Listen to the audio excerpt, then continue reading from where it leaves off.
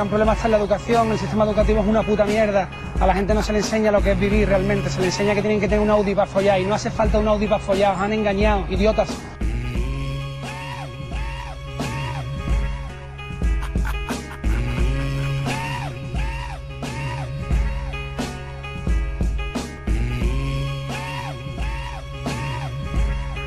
Bueno, pues por ejemplo, Alberto desde Twitter dice, esperando a que, Sote, a que Sota vuelva a incitar a quemar coches y empresas, ahora que está en Radio Nacional.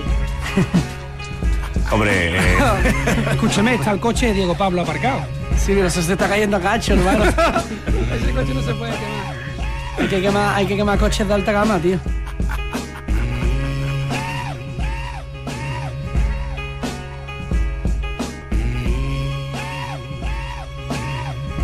Hombre, es sabido que vosotros sois amantes de gran cantidad de música, sobre todo dentro de lo que es el rock, ¿no? Que, Sí. que- que os gusta bastante, o al menos eh, a ti te gustaba bastante. Sí, sí, me flipa, sigo escuchando rock. No sé, yo mi evolución del rock ha sido de lo más metalero cuando era joven, ahora que soy más pureta, me, me ha dado por los Creedence y por temas más de rock clásico. Escucho mucho jazz. Creo que del único género musical, acabo antes diciendo el que menos consumo. El que menos consumo es electrónica. Me gustan algunos temas de Justice, me gusta algo de Dubstep, pero no controlo a... Ahí me he quedado carca y no, no he llegado a entender bien ese género. Pero casi todos los demás me encantan. Y yo creo que mi hermano, bueno, no sé, que lo ¿Y tú, diga. A mí me gustan incluso otras cosas de flamenco, me gustan, me gustan los delincuentes, me gustan algunas cosas así de, que se hacen en Andalucía, de ese rollo.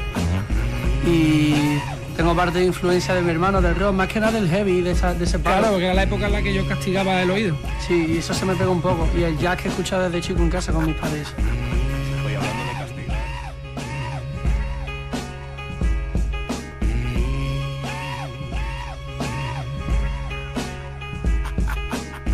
Pues, eh, voy a hacer que esa pareja rota se coma la boca.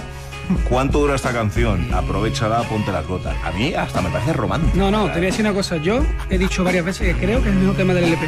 Ese tema del hermano solo, tío. Es precioso, tío, es la bomba. Me encanta, ¿no?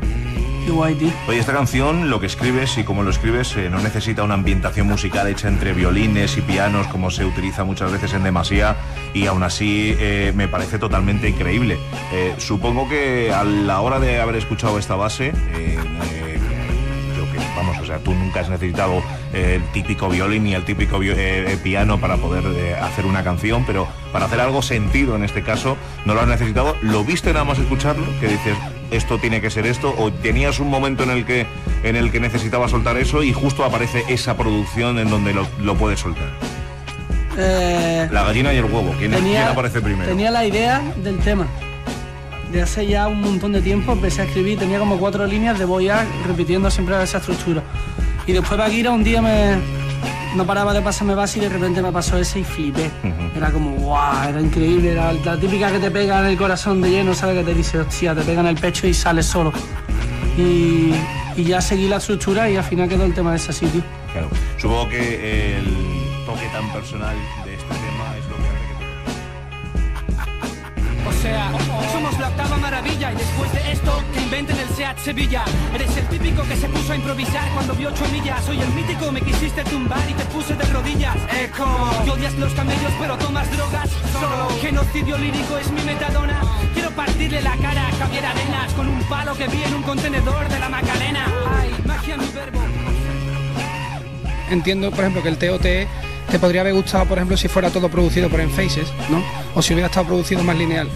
Supongo que te pasaría lo mismo. Un disco que tiene tanta, tanta variedad, un, un beat de Oh No, otro de Enfaces, otro del método Chintaro, otro de.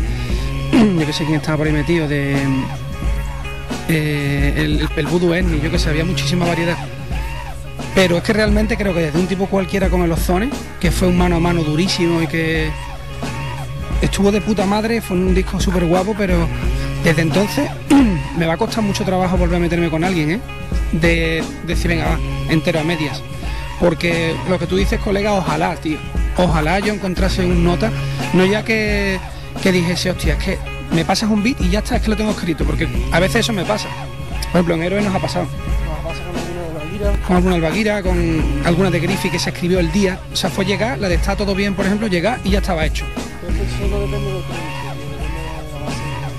Sí, pero yo también entiendo un poco lo que él dice, porque es verdad que hay peña que, que, te da la sensación como que te hace falta de- decir yo que sé, me gustaría escuchar un disco de esta nota con alguien, con este, o a ver cómo quedaría con este. Y yo en ese sentido encantado, ¿eh, tío? Yo estoy encantado, que te diga mi hermano, vamos, yo soy un rastreador. Estoy todo el puto día buscando beats, beatmaker, me encanta estar... Yo bueno, no tengo redes sociales, pero sí me encanta bichear los twitters de los productores porque normalmente ponen su contacto. Sí, el SoundCloud, el SoundClick, voy bien. Siempre me encanta bichear, ¿sabes? De peña nueva, de peña que estoy abierto que me manden ritmo. Gente de.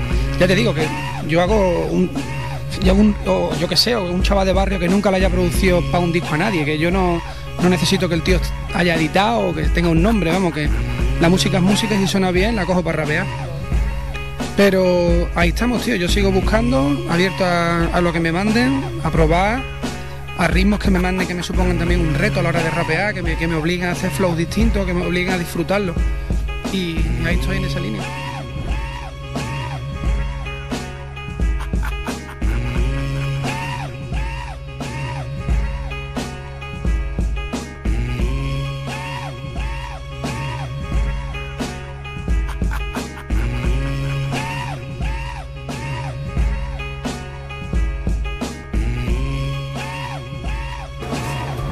Después, pues, no sé, anécdotas. Bueno, seguro que se me olvidan algunas, pero había. Ah, bueno, sí, mi es loco. Chía. Es loco, que a veces no nos dejan grabar. Es que el estudio está Tan Miqueli y arriba hay un vecino que está más ara. Ya me llevo un poco mejor con él, pero no veas, aquí hemos llegado casi a denuncias y tela por el, por el ruido. Guerras de, de sillas y de. No sé, El día que se ponía el arrastro a la silla, a pegar- a golpes, a ver quién ganaba con la música o si ganaba él o yo.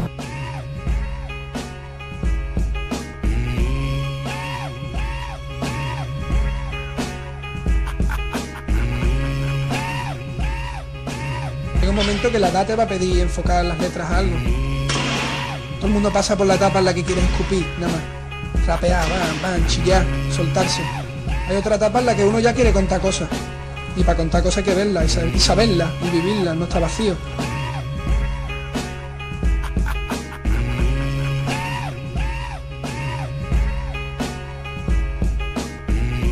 Los maestros por mi gusto, por ejemplo, de gente que he leído, son Hermann Hesse o J.M. Coetzee. Esos son mis escritores favoritos, los que más he leído. Son gente que utiliza las palabras de manera increíble. Y en el ámbito de la música, pues gente como Talib Kweli, como Jay-Z, como Nas, gente así.